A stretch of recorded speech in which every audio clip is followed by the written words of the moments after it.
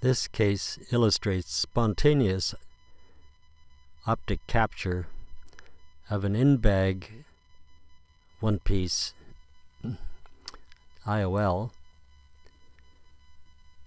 We didn't leave it there, but I thought it's good to show how we can stabilize with the CCC a one-piece lens that's in the bag.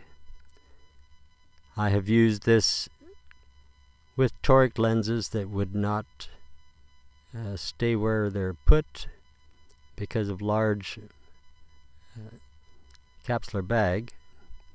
And you'll see with this lens how easy it is to move it from side to side. So it is a, a pretty large capsular bag.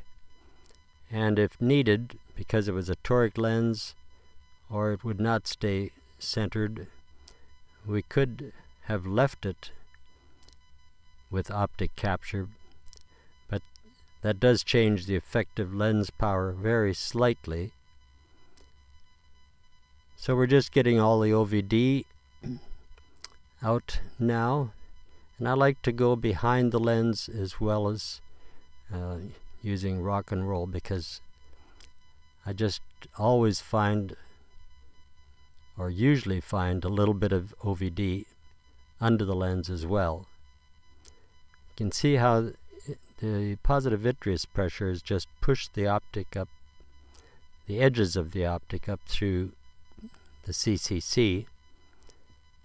And one can achieve that purposefully in cases where you want to stabilize the lens for instance, if you get a posterior capsule tear or something that makes you concerned about long-term in-bag stability, by capturing the optic with the CCC, you can ensure that you'll have capsule fixation for the rest of the patient's life.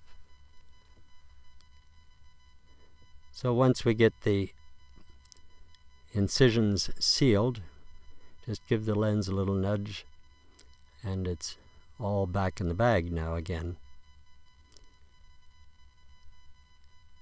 So this is another reason to always make the CCC smaller than the diameter of the optic to have this option if it's needed. With a three-piece lens after posterior capsule tear or a one-piece lens that you want to stabilize. Thank you for your attention.